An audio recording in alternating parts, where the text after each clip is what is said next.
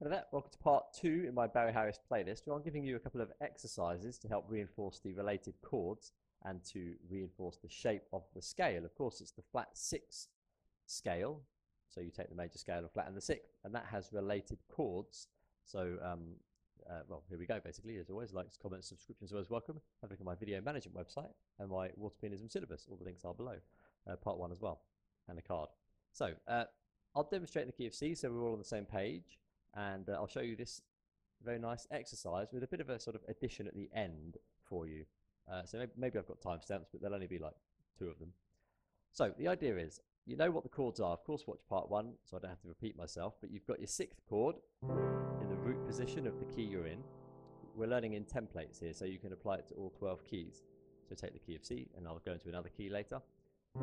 And then based on the second, we're going to play its whole diminished group, and that gives us the other notes. So that's what gives you the major scale plus the flat six. So that flat six is literally the key to a beautiful symmetry.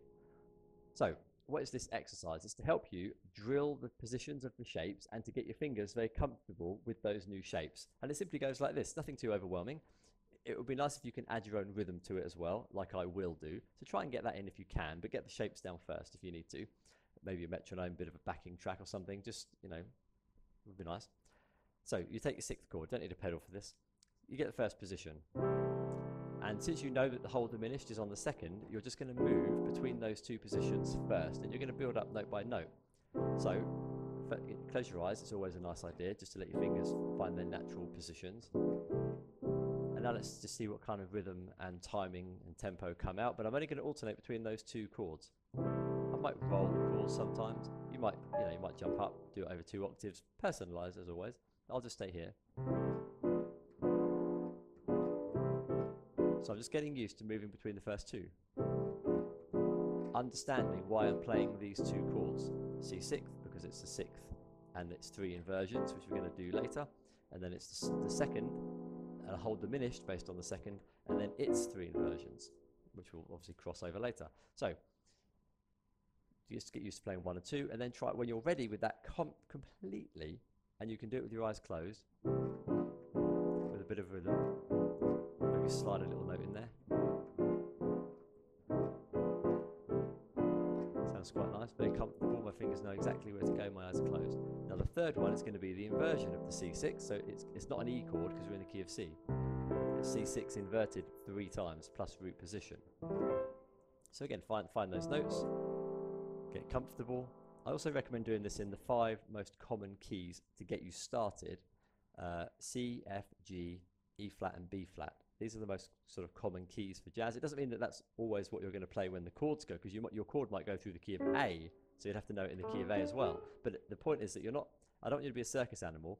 I want you to be, um, a, I want you to develop the skill to be able to do this so that you can do it in any key when you need to over you know half an hour, drill it in a new key. You don't have to memorize all 12 positions times four inversions, well root position plus, I mean it just becomes silly numbers. So, got the first two. Now, now just go to the third one, find the third position, which is the first inversion, and alternate from there and the second note, just so you can get the two and three together. Bit of rhythm, slide a note. So only move on until you've got that shape. When you feel you have, try and put all three together.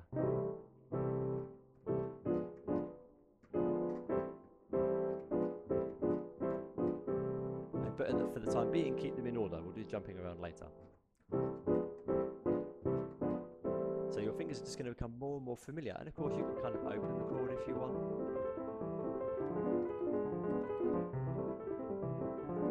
Just kind of like roll up chromatically because it just really confirms that your fingers are in the same place. You see, it's nice. Next one's going to be the diminished because it's part of the diminished group of B, which is F, A flat, and B. So I'm going to get F whole diminished here. So get used to playing that one and the previous one.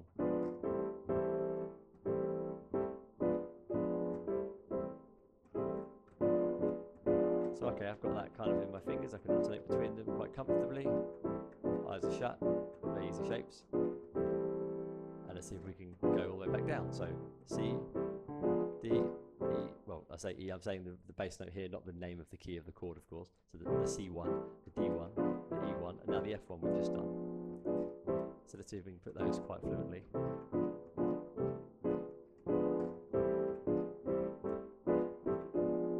That's quite nice. Then we're going to go to the uh, G1, still C6 inverted, uh, second inversion. That's a bit of a weird one here. For me, it's my natural fingering. I think it's little finger, ring finger in the left hand. So I need to go from there to there to the F1. So the only the weird thing I can feel here is that I don't. It just feels a bit uh, odd for me. Just I've just discovered now. My fingers, I have to kind of consciously. Um, how can I say this? Like uh, move my. I don't know why it is, but my index finger wants to play the B. So I'm forcing this index to play the C. That should be E, of course, to play the C. So let me just see if I can do that until it becomes natural. And I don't need to think about that happening. I think that's quite nice. The G and the A fall naturally, the right hand's fine. I think that's kind of there. So let's go from maybe the beginning, just to dr- keep drilling them.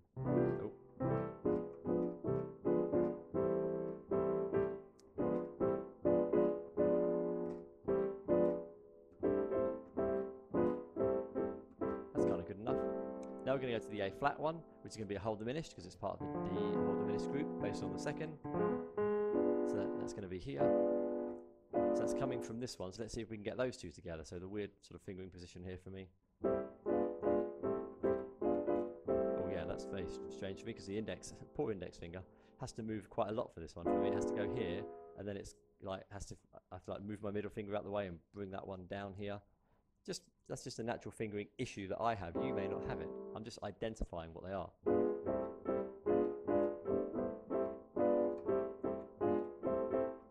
I think that's kind of there. But understand why I'm playing it. I'm playing the second inversion of C6. It's not a G chord. A flat, hold finish. Eyes closed.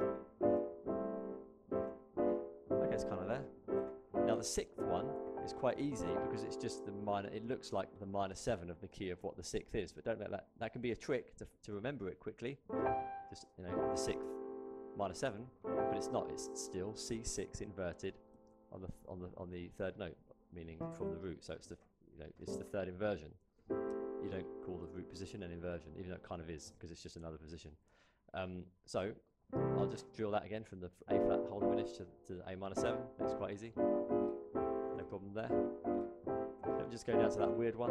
Yeah, see, it's in my fingers now. I can I- can feel that my my finger is naturally bringing itself to that C on the way down. What about from the uh, F? I think that's kind of there now. Now the next one is going to be B whole diminished because it's part of the D diminished group based on the second. Very easy. So B whole diminished from the A minor minus 7 shape, but it's still C6 inverted. So my right hand, my little finger is playing the, the uh, G, but then my ring finger always plays black notes. 99.9% my ring finger plays black notes, and that just happened naturally. My left hand, I think it's, it's using all the fingers but the ring finger on both chords. Yes. So there we go. Play the right play the right chord. To C6. So now we want to go up and down really fluently, having drilled those positions in. I mean, how long has this taken? A couple of minutes? Well, I don't know, eight minutes or something, seven, whatever. Um, so let's just try it again.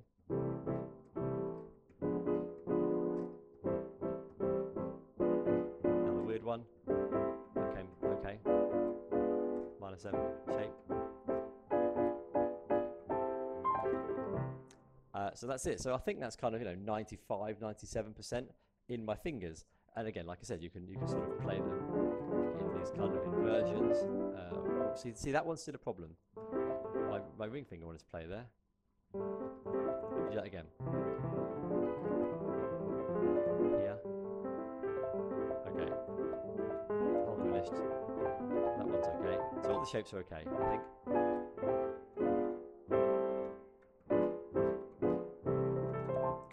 Now, the thing that you can do, there's two, there's another exercise I wanted to give you, but just another thing I wanted to say on this is to get used to really drill that shape in, in, in a key, move it around. Don't play it in the, well, I say chromatically, don't play it up and down numerically, one to seven and back to one again. Try and move around to see if you can jump to those chords. It'd be nice if you had a backing track, you don't need to rush, it's just about the ability to be able to do it. So let's just start with C6, I'll just do it randomly, so kind of like uh, one, let's go up to the F, and I know it's a whole diminished. A is the minor 7 shape, but it's still C6 inverted. E1, C6.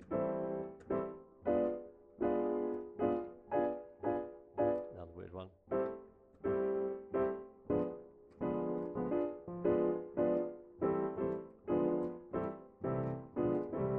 So you want to get used to doing that. That's a nice thing to play around with. Let's move to a new key, and I'll give you the other exercise. So let's just uh, get used to playing this in the key of F. Like, I like moving up in sixths, that's why I'm doing it in the key of F. I haven't prepared anything. Um, key of F, uh, we know that G is the second, so we're going to play the whole diminished on uh, uh, G and it, its group, B flat, D flat, and E. So let's do the F to G. I'll do it much more quickly without talking so much.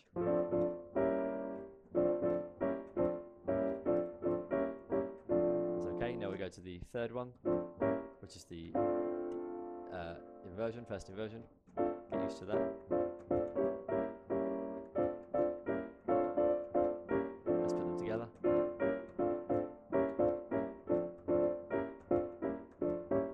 Now we got to the B flat whole diminished. Move around a bit.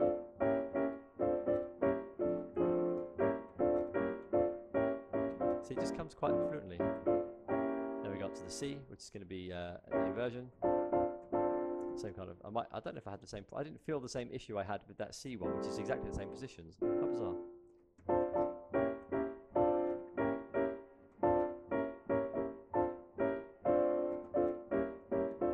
So let's just go again. Now we're on the D uh, flat whole diminished, the flat six. Let's alternate between those.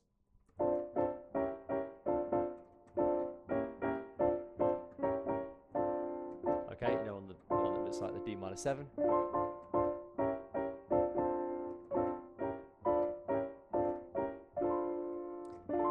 now onto the E, which is uh, going to be the diminished.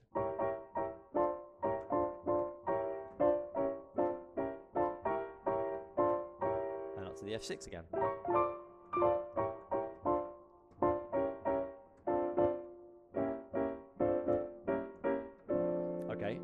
Course you can move them around. Now the, the second exercise I wanted to give you, so one of the timestamps, is to just play the chord that you're playing so you never lose the, the scale that you're actually playing in, the key.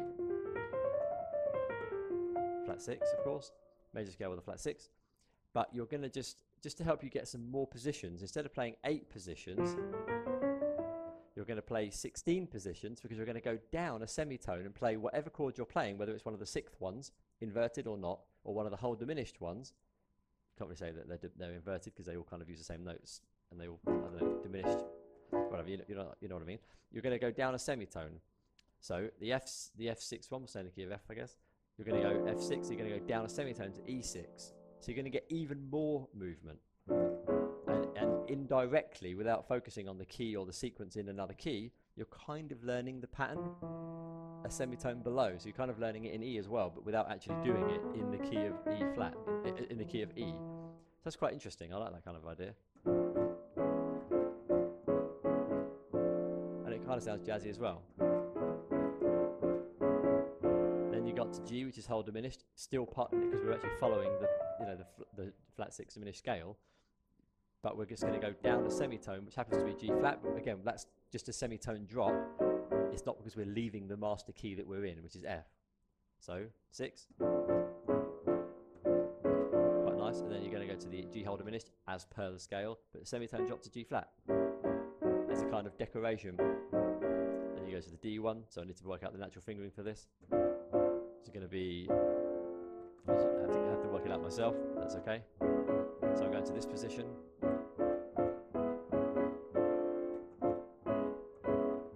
It's quite nice. You just get some fingering opportunities in other keys. B flat's going to go to A whole diminished. We go to C. it's going to be the inversion. So this one's going to be like that, like that, like that. So let's get the natural fingering for that. My ring finger wants to play that uh, note there. So you just need a few seconds to get used to it. This is the thing: is you're not a circus animal. You're not just um, a, supposed to be able to play it off immediately. You, you, you have the ability to find how to do it and then doing it. Oh, hang on, I, I lost what I it. Right, so let me just drill it again. See, I know how to do it, and I'm just going to practice it. My eyes shut.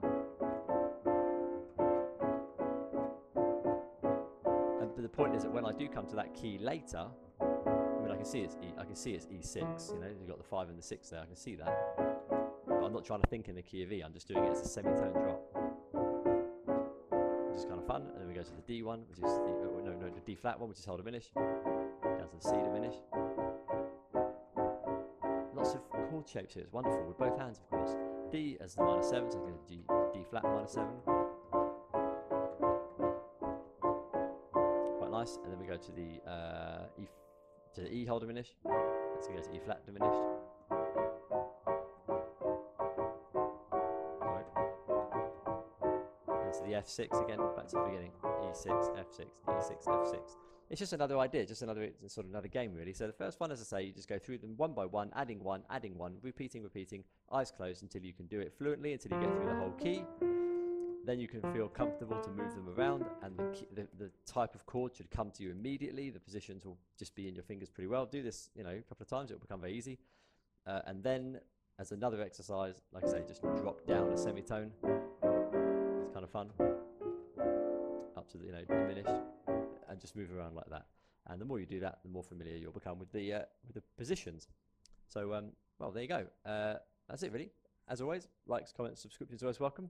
Have a look at my video management website, Water Pianism Syllabus, and I'll see you in uh, either part three of this playlist or another video. All the best, and uh, bye for now.